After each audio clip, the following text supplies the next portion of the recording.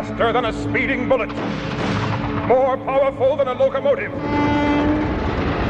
able to leap tall buildings at a single bound. Look, up there in the sky. It's a bird. It's a plane. It's Superman!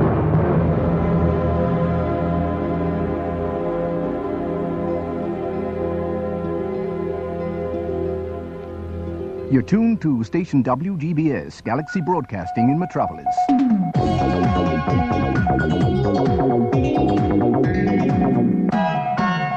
It's time for the news from our sponsors LexCorp and the Metropolis Daily Planet. All over the world, shock reaction is still being registered as Metropolis number one superhero stands in chains accused of crimes against humanity. For coverage of today's proceedings, we now go live to join our reporter outside the city courthouse. Tension on this third and last day of the trial of Superman as Lex Luthor, president of LexCorp Industries and candidate for city mayor, presses home his attack as prosecuting counsel against the Man of Steel. He contends that Superman's presence on Earth and involvement in human affairs constitutes a threat to mankind's natural development, a crime against humanity. Amid wide public concern, a manacled Superman has appeared again today in a severely weakened condition. Presiding over the court again today, the strange figure of a non-human, one of the self-styled guardians of the universe, specially approved by the Metropolis authorities as completely impartial. Uh, apologies again for the absence of our regular trial reporter, Clark Kent, by the way. Ah, oh, we're through to the courtroom now. Uh, there seems to be quite a commotion in there as prosecuting counsel Lex Luthor approaches the accused. Stop him! Somebody! Order! There must be order in this court! Exhibit K, ladies and gentlemen. Kryptonite. Oh. Take it away.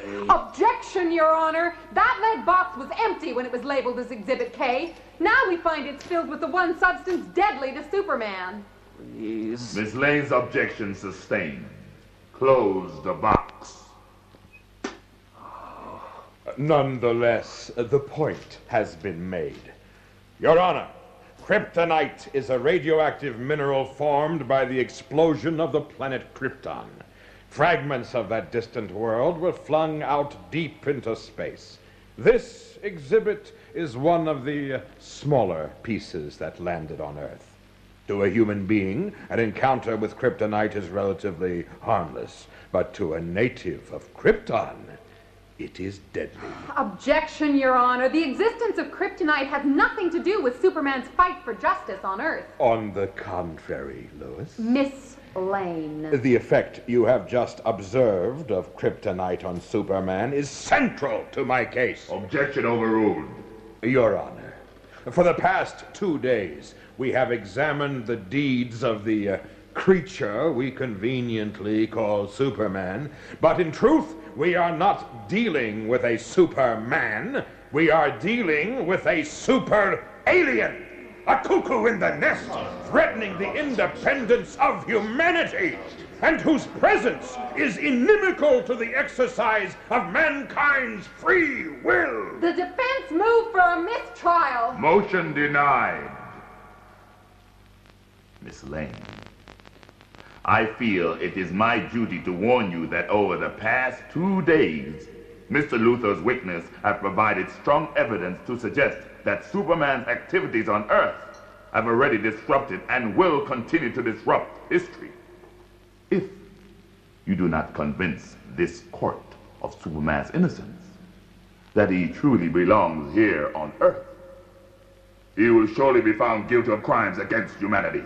He will suffer eternal imprisonment as a disembodied spirit within the Phantom Zone. Your Honor, Superman is held here in chains, sick and helpless. How could he have been brought here so easily? Who did this to him? The defendant was brought here by the prosecuting counsel. The court cannot pass judgment on his physical condition. This is so wrong. Superman. Superman. Can you hear me? Forget it, Lois. Uh, He obviously doesn't choose to defend himself. His lips are moving, damn it.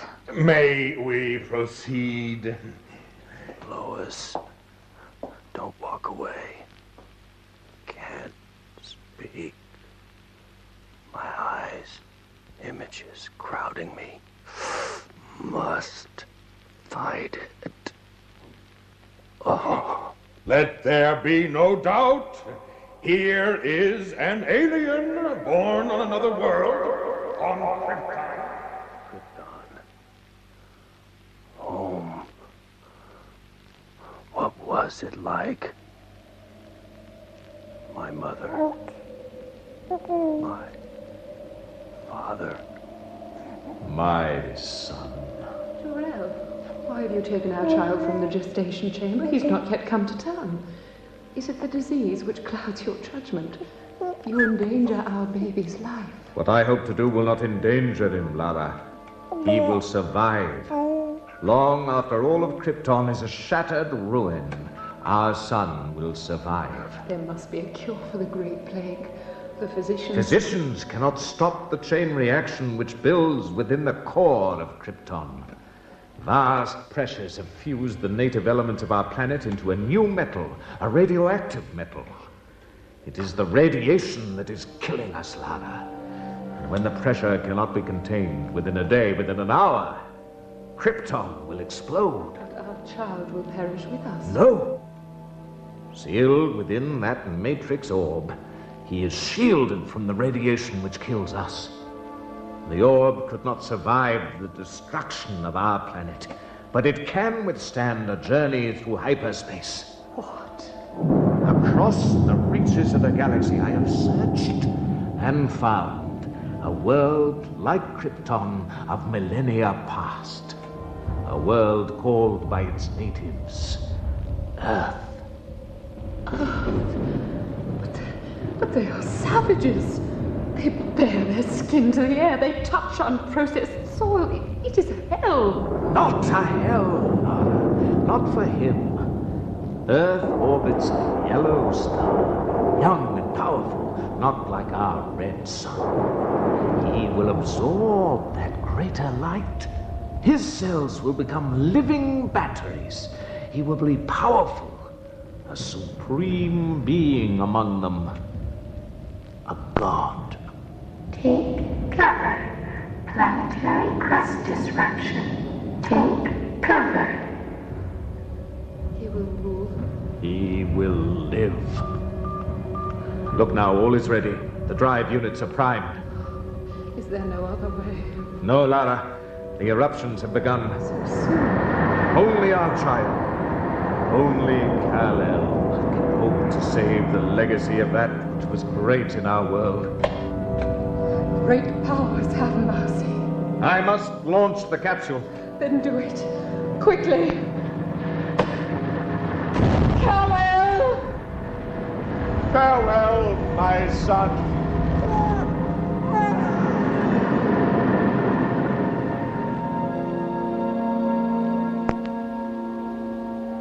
So it must end.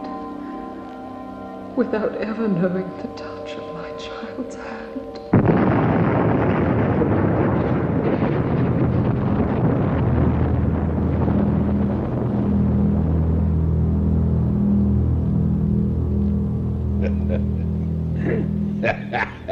Oh, I beg your pardon, Your Honor. But how richly ironic it is that Jor-El, the alien that sired Superman, was also the Kryptonian scientist who created the eternal prison of the Phantom Zone. And here today, it is his son that will be sentenced to drift for centuries in that benighted hell. Miss Lane, does the defense wish to answer Mr. Luthor's statement regarding Superman's alien origin? Your Honor, the next witness can help us establish the exact nature of Superman's non human abilities, raised as he was alongside Superman as his brother. The defense calls Daily Planet recorder Clark Kent. Call Clark Kent. Call Clark Kent. Where's your star witness then, Lois? Didn't you get enough time to prepare your case? You know damn well I didn't. Your Honor, the defense had anticipated this absence, or perhaps I should say, abduction. Oh, objection, Your Honor. Just because Mr. Kent would prefer not to testify in his adopted brother's defense, uh, Miss Lane implies the, the prosecution is to blame. Sustained. Strike that from the record. In Mr. Kent's absence, I would like to call Jimmy Olsen to the stand. Call Jimmy Olsen. Call Jimmy Olsen. Where have you been? Sorry, well, it was just awful. It's a long story. I, I... You want to get sued for defamation, Lois.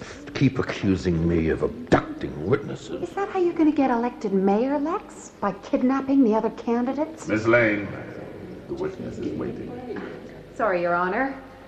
Um, your name is Jimmy Olsen. Sure, Lois. Miss Lane.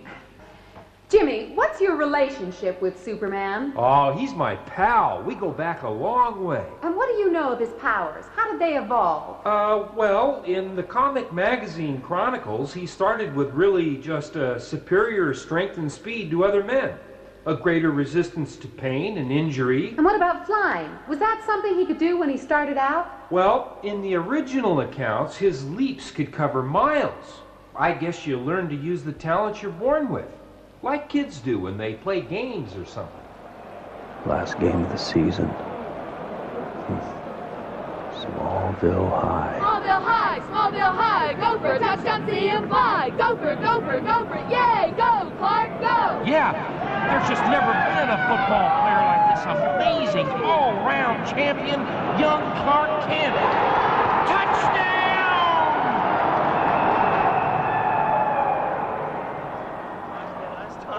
Hey, Pa! Did you see that last touchdown? I was just about to go. We have to talk. Oh, sure, Dad. Uh, just as soon as I've bought Lana a soda, okay? Now, Clark, let's go. Um, I'll uh, uh, catch you later, Clark. Mr. Kent? Thanks, Lana. are you mad at me for something, Pa? Not mad, Clark. Little upset, maybe. Upset? But I just won the last game of the season. Almost completely by myself. I know that, son. I know. And that's what we need to talk about. That's why it's finally time to show you something. Something you maybe should have been shown a long time ago.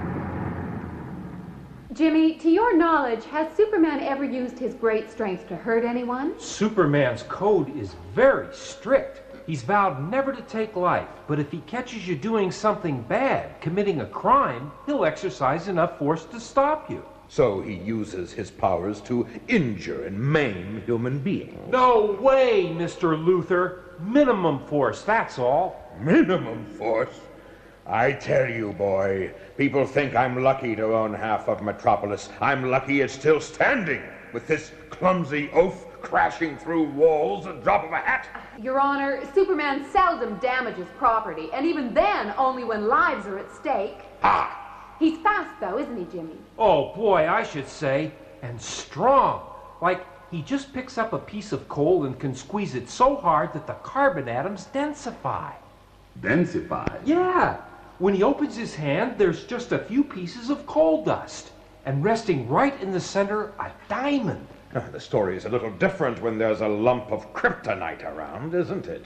He's as weak as a kitten then. You should know it, Luthor. You've used it against him.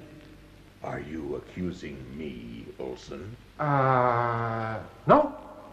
Good. I'd say Superman brought the threat of kryptonite on himself. But it was the old Superman radio show. The actor playing Superman wanted a vacation, so they introduced kryptonite into the story and had some stand in grunt and groan for a fortnight, supposedly too sick to say any lines. Silence. Your Honor, the laughter well befits this comic opera. Just the idea of a superhuman baby dragged up in a backwater of American civilization by some, some family of ignorant sodbusters. no further questions. You may stand down, Mr. Olsen. Uh, Your Honor, may the defense speak privately with the witness? Very well. Thank you, Your Honor. Jimmy, where the hell is Clark? It's been three days. I tried his apartment again this morning. Still nothing. Luthor set this all up. Superman's the only person who stands between him and the job of mayor. Jimmy, Superman has always helped us, helped everybody. Now we've got to pay him back. We must find Clark. He can speak for Superman. They were raised together. I'm on it, Lois. I also sneaked these out of Luthor's case yesterday.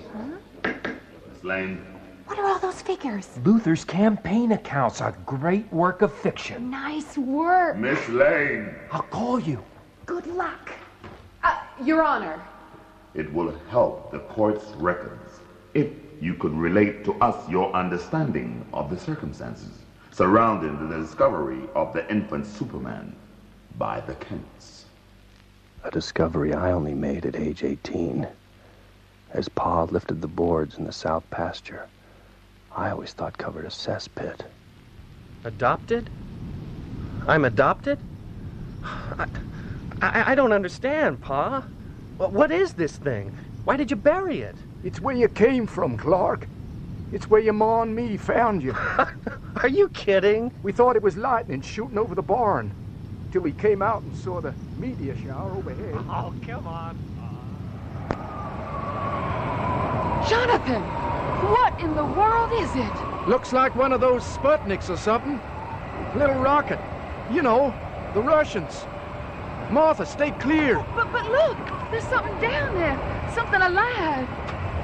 Oh, I heard they were sending up monkeys and dogs. Don't touch it. What?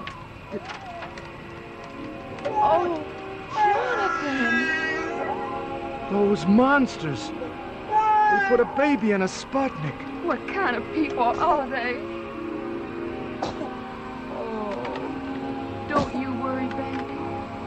I'm gonna make sure whoever shot you up in that tin can will never get their hands on you again. Oh, your mother, Clark. Just when we got you back in the house, the granddaddy of all blizzards slammed down. Heck, we didn't get into Smallville for five months. When we did, why, Martha just announced you to everyone as our new family member. Oh, wow. After eight years of trying for a child, our friends were just as thrilled as we were to meet little Clark Kent, the baby we'd so often prayed for.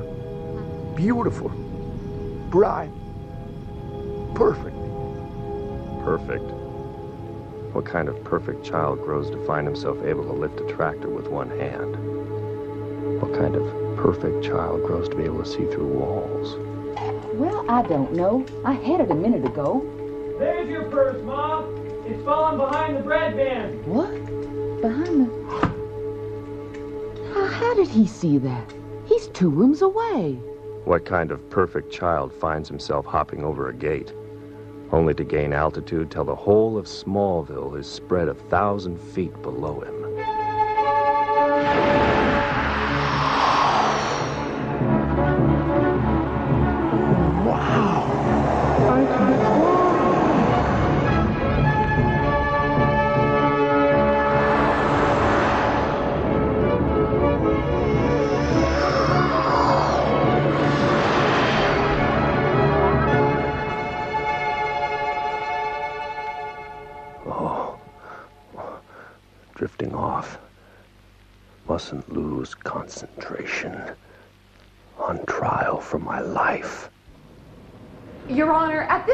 Trial, we move on to examine closely the principal medium by which Superman first became world famous. A medium which still provides by far the richest chronicle of his career here on Earth. Uh, Miss Lane refers to comic books, Your Honor. Call the next witness. Call Jenette Kahn, president and publisher of DC Comics. It's going to be a pleasure to prove you wrong, Lex. Nobody treats Lex Luthor the way these people do and gets away with it. Ms. Kahn, the original Superman Chronicles by Siegel and Shuster were written and drawn mainly for children. But today's DC comics cater to a more adult readership, do they not? Yes, most of our readers are adults, albeit they're young ones, and our comic books reflect their interests. Superman's appeal, however, knows no barrier of age, sex, creed, or country. Comic books convey many basic truths. Really? I thought comic books were designed to make a fast buck out of simple minds. Mr. Luthor, you're quite a cynic. It's the contrary. We are publishing sophisticated comics with substantive themes and pioneering art. We have broken new ground both in format and content. Ms. Kahn, the new format you speak of refers to the recent introduction of what are called graphic novels. Could you tell us about them? Well, graphic novels are significant stories told with intense, compelling artwork. They're printed using the finest materials and bound like books, not like comic magazines. Indeed. Uh, Your Honor, Miss Lane has failed to declare an interest here. As an associate of Superman, a second string newspaper reporter like herself becomes an international name through her appearances in Ms. Kahn's publications. We portray Ms. Lane just as she is. If she'll forgive me for saying so, she's feisty, independent, tough minded, dedicated, and a terrific reporter. And why is it then that you portray me as a corrupt, bullying racketeer? Mr. Luthor, as I said before, our comic books convey many basic truths. Thank you for your evidence, Miss Kahn. You may step down. Uh, Your Honor, there's a phone call for me in the lobby. May I take it? Five minutes recess. Perhaps the clerk of the court could contact the medical officer. Some attempt should be made to revive Superman if he is to defend himself at all. Wake up, Superman. Wake up.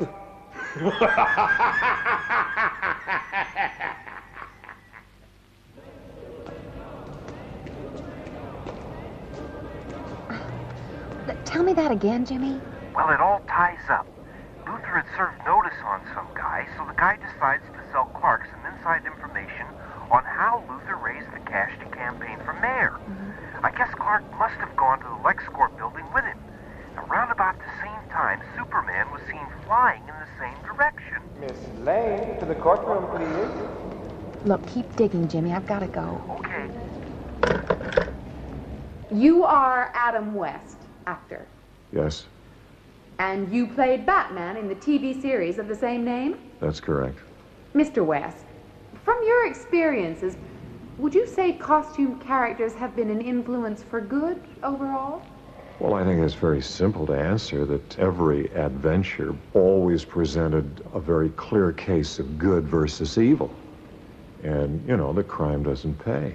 Uh, doesn't that depend on who the criminal is, Mr. West? What kind of squeaky clean hero openly flouts the rule of law, as certain comic book characters appear to do? It's certainly not a superhero in the traditional sense. Are you talking about a specific superhero? I'm talking about the defendant. Well, to my knowledge, uh, Superman has not gratuitously gone around on the streets beating up people. And let's move on to the comic chronicles, Mr. West. Don't you agree that these publications reveal superheroes to be psychotic sadists living out reactionary fantasies? Objection. Prosecuting counsel is asking the witness to condone his libelous remarks.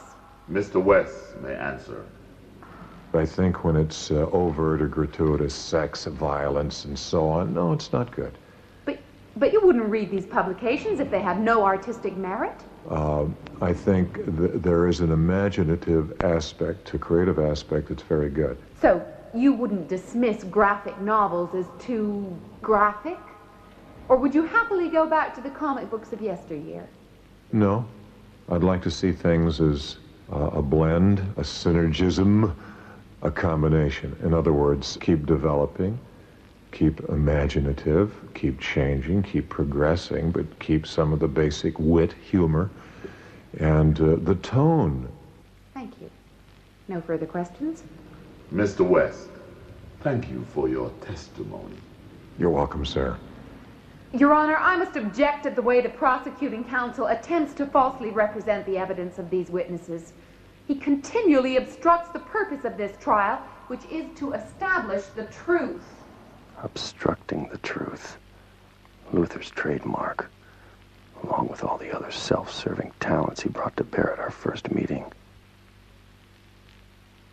Welcome to LexCorp, Superman. You've earned every penny of this?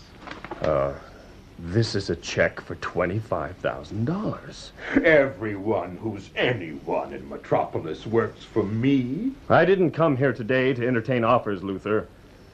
I came to warn you that the corruption in this town has got to stop. You've made a mistake, Superman. I run this town. Metropolis belongs to me. The people are mine. They've looked at you with your costume and your flashy superhuman powers, and they've forgotten who their master is. Who is number one? Well, I intend to remind them, Superman. I'm going to show them that you're nothing. You're going to be destroyed.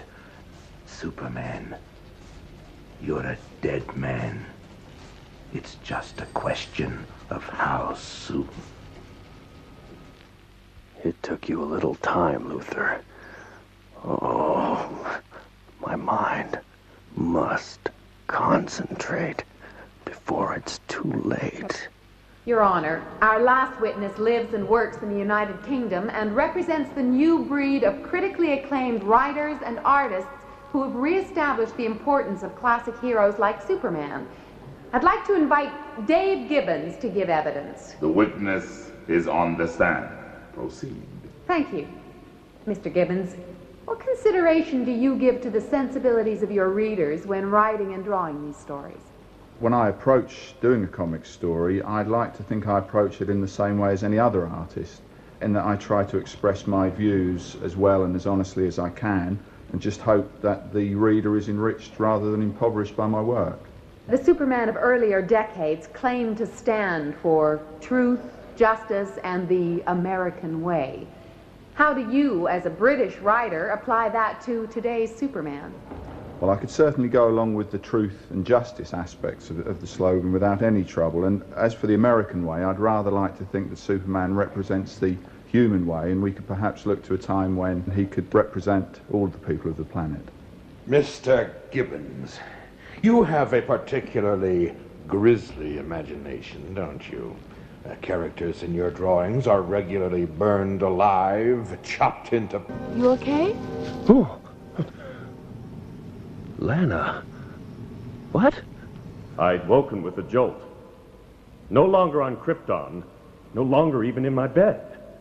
I'd hardly begun to absorb what I'd discovered when dawn broke over the pasture, and my childhood friend Lana Lang stood over me. The one person outside my family who knew my true identity. The one innocent human that I had hurt. What's wrong? You came charging across your father's field like the devil himself was after you. Lana, what are you doing here? It's so long since you were in Smallville. Why didn't you let me know you were back? I made your parents promise not to tell you. I, I don't understand. Clark, the night before you left Smallville, the night I half expected you to propose to me, and instead you took me out for a walk to tell me you were leaving and gave me the shock of my life by flying me home. Clark, as soon as I read the papers about Superman, I knew it was you. And I never wanted to see you again. Oh, Lana. Why? When I saw that paper, I knew you were taken from me. Because from then on, you could never love one woman, Clark. You're Superman. And Superman belongs to the world. Oh, Superman. Clark. That poor girl. That's when I began to see. To understand what hopes Lana had had to abandon when Superman first appeared. And then, slowly, to comprehend how many more ambitions I could never hope to fulfill as Superman. Lana had lost Clark, and Clark could never hope to win Lois. And all because Superman belongs to the world. But which world? It was Krypton that made me Superman, but it is Earth that makes me human.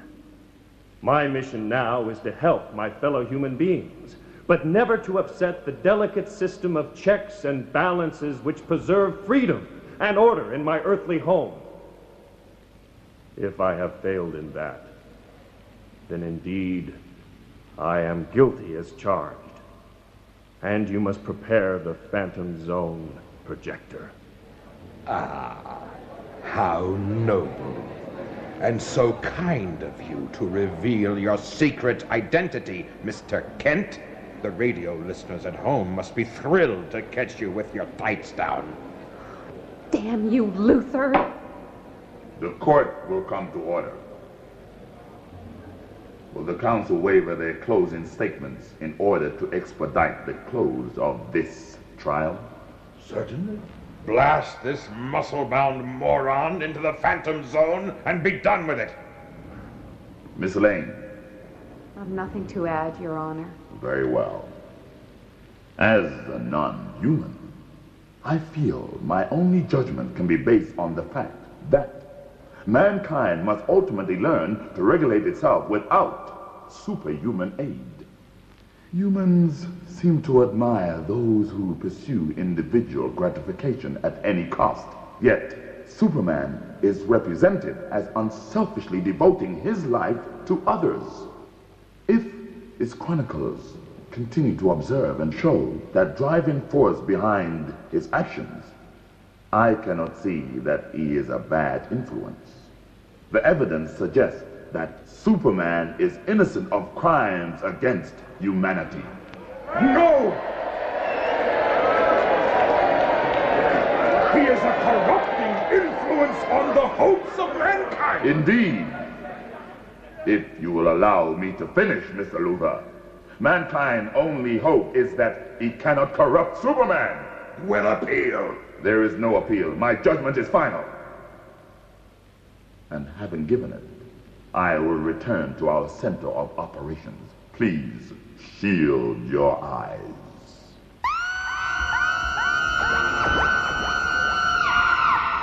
Get him back! Lois! Lois! I, I, I found Clark. I found him. Clark? Clark Kent? Jimmy, it isn't possible. You see, Clark is. Superman! You've recovered! Jimmy, thanks for your help, pal. You're lying, Olsen. Show me Kent. Show him to me now. Sure. Follow me, Mr. Luthor. Oh, uh, I nearly forgot. What the? A present from the police commissioner. He's waiting outside for you. Soon as this trial's over, yours starts. Get these handcuffs off me, you A carrot-headed fraudulent handling of campaign funds, abduction and bribery, and that's just for openers. I'll tell you what's for openers, boy. You'll show me Clark Kent if you can, while my attorneys throw out these charges. Where is he, Jimmy? It's so dumb, but there's nowhere else he can be. Follow me. Yes.